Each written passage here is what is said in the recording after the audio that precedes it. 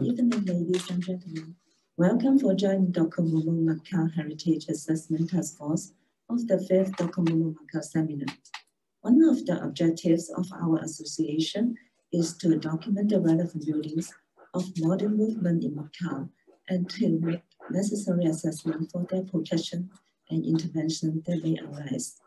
In recent years, we have prepared a few assessment reports, including our first assessment report for Helen Lim Orphanage in 2015, and the report for the protection of Rainha Dona Leonor Housing Block in 2018.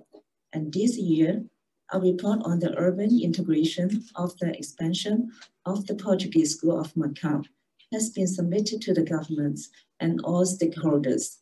And now I would like to pass the mic to my colleague to make a brief presentation on the last two reports. Thank you, Nicole. Um,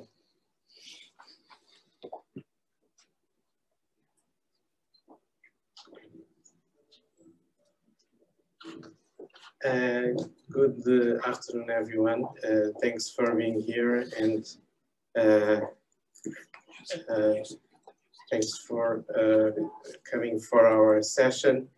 Um, especially, I, I, think this year we organize it in a particular way because we try to make a compact program, but not with, but with some variety. So we're very excited to have the second uh, uh, part of this with the session and two presentations by Professor uh, Sheridan Burke and Professor Sharif Imon.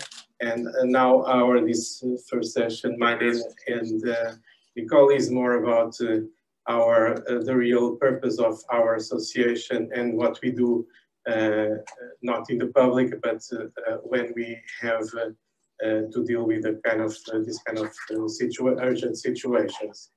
So um, the, the, the the work is at the base. the assessment work that we do is the core of our work at Docomomo and uh, uh, it starts with the uh, production of minimum fiche. the, the minimum fiche is a, a, um, a, report on the building.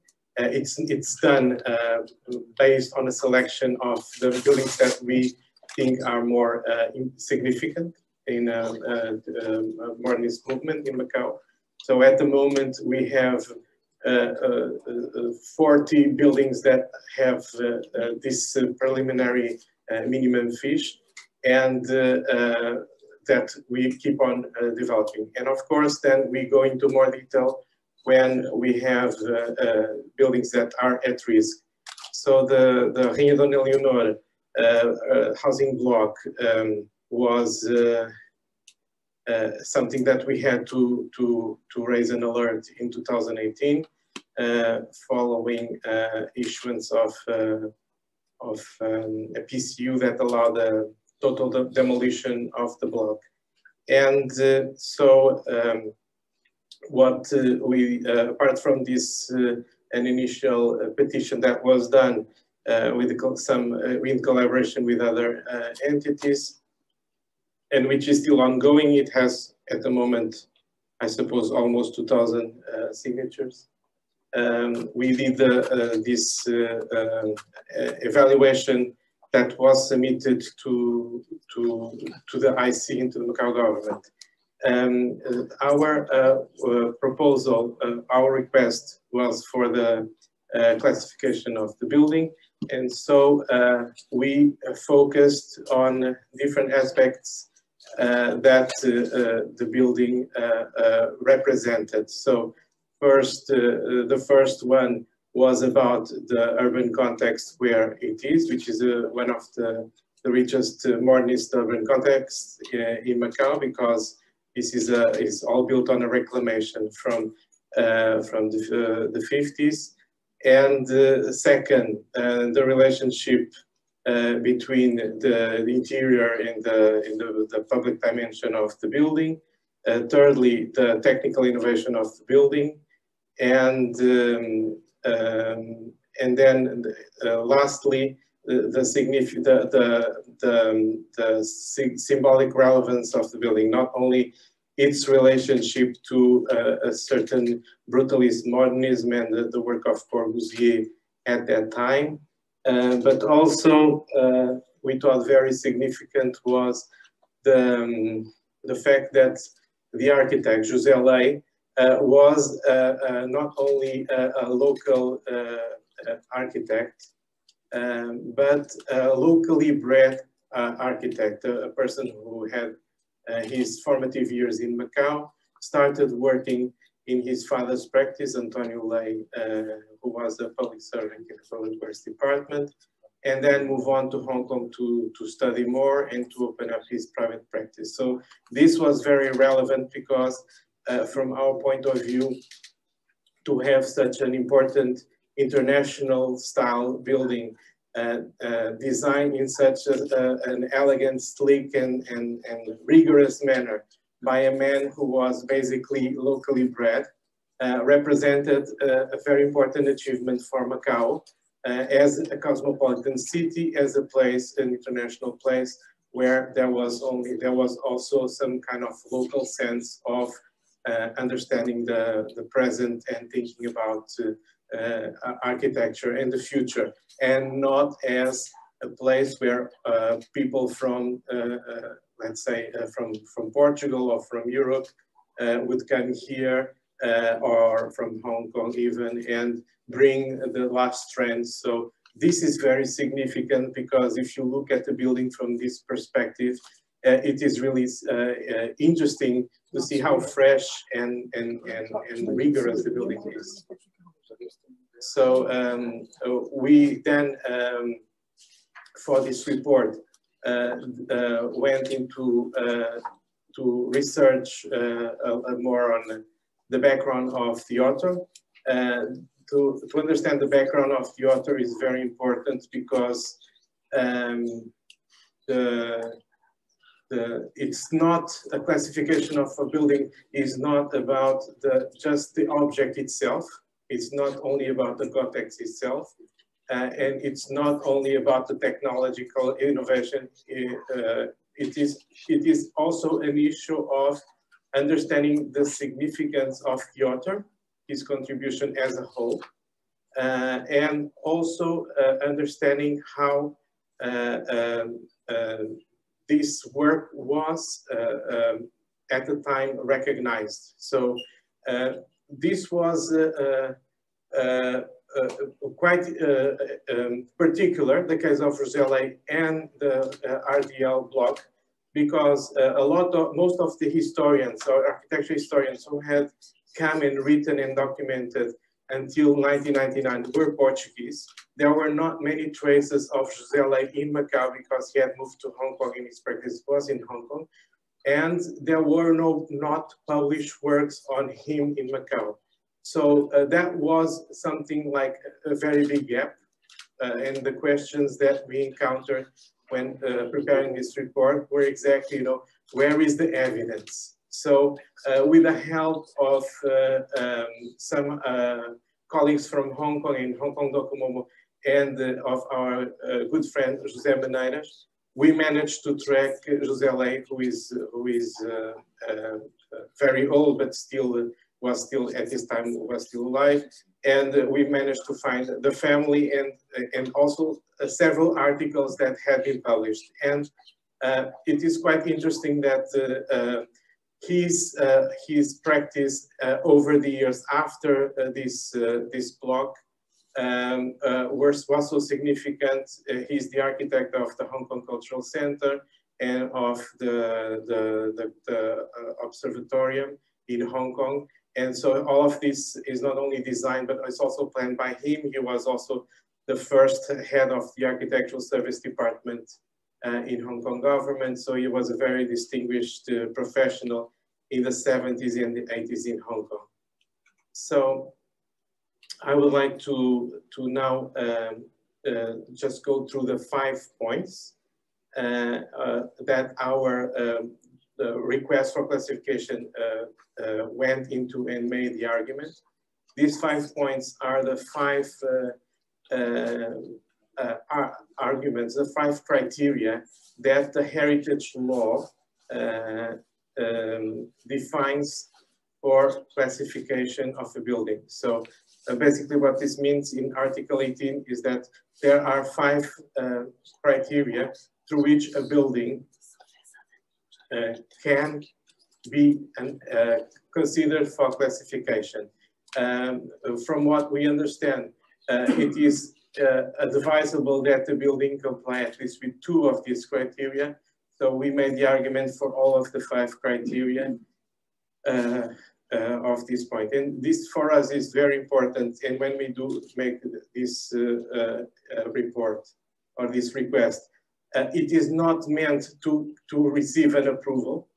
Uh, from our point of view, most important is to create an exercise with the government and with uh, um, the IC uh, to, uh, uh, to put the, the law in practice. So that is the reason, it's kind of the dialogue that should happen and, and develop this kind of uh, uh, rationale of understanding why we have to classify this building and not to go and choose which buildings to classify because uh, we know it's safe, because we know the owner, because the owner is willing to, to sell. So that is not the whole purpose of the law. That is not the whole purpose of understanding heritage protection and classification of buildings.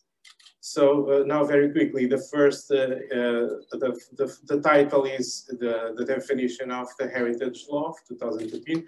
So it's the importance of the building as a noteworthy lived experience and embodiment of history.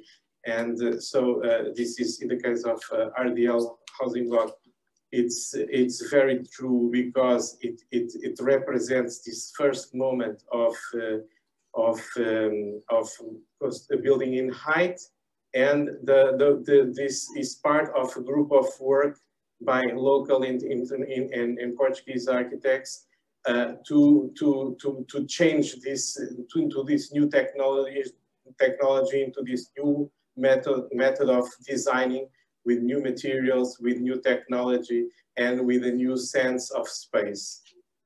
So uh, the, the second criteria is the intrinsic aesthetic and the technical material value of the building.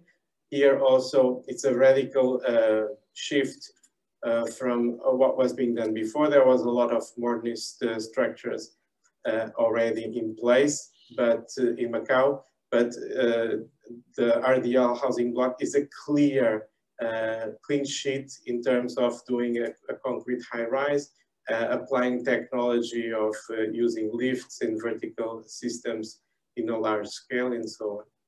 Third, the third criteria is the architectural concept of the structure its urban integration.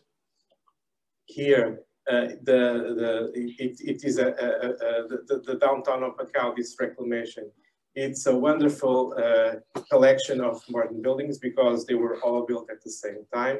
And uh, uh the modernism arrived quite late in Macau. So by the time these new urban plots were ready for development. A lot of modern structures came on, and uh, also uh, the not only the buildings, but the, the, the urbanism itself is a very modern uh, grid that is uh, uh, superimposed on the curve of the, the old Praia Grande Bay. And uh, fourth criteria is the interest of the building as a symbolic testimony.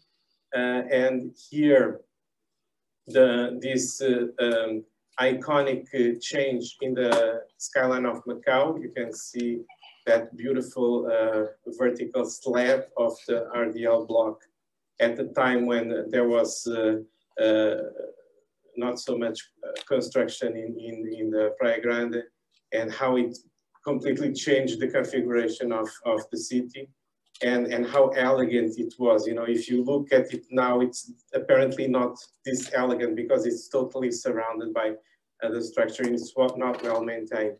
So, um, but it, it is exactly what uh, it was at the, at the time. And, uh, and I thought it was interesting to, to really come across the face of Lei in an interview that he did for HKIA uh, in the 90s. And uh, again, here, the symbolic testimony is uh, this uh, uh, relation between uh, the dimension, international dimension of the work and the, the local author who goes out and understands the, the world as it happens. So uh, the fifth criteria is the social scientific importance of the building as a source of knowledge. And from our point of view, this is clearly uh, uh, present in RDL block because it's, it's a first in so many ways the first use of a leaf, the first use of, of uh, uh, the designing a, a, vertical facade in, in, a ventilated building and so on. So it, it is still working, it still works well. Uh, it, was at the time when we didn't have air conditions and, and, and, and, and all this kind of uh, passive energy was an important um, uh, it was a central element of uh, design for, for architects of the generation. Um, so, so then uh, the, at the time we submitted, there was a second request of classification by the Docomomo International, who uh, supported us with this letter uh, and uh, uh, made a request to, to have the building classified and uh, the, the, giving the arguments uh, again of the, the innovation that the building represented to Macau and uh, how it could um, uh, how it had to be uh, uh, Um, um, uh, uh, had the awareness that had to be created to uh, to make the whole process somehow uh, come into realize, realization as being uh, such a, a, new structure. Also, uh, the, the, the, the, report from the Docomomo International uh, saying that it is urgent to raise the awareness of, of the qualities and significance of this building to the local authorities and it stands as an exemplary testimony to the advent of modernism in 20th century history and innovation which should, should be preserved for future generations, Co considering the technology and the, the um, and the design innovation. Uh, thirdly, uh, we received, uh, uh after rough, uh, uh, around nine months, having shared our report with the ICOMOS, by the time we submitted to the government, uh, ICOMOS, uh, International Scientific Committee for 20th Century, uh, got very interested in the case of this building and, and our efforts to raise the awareness and protect it. So they also submitted their uh, request for classification of the building. And their letter was, uh, their request was of in September 2019.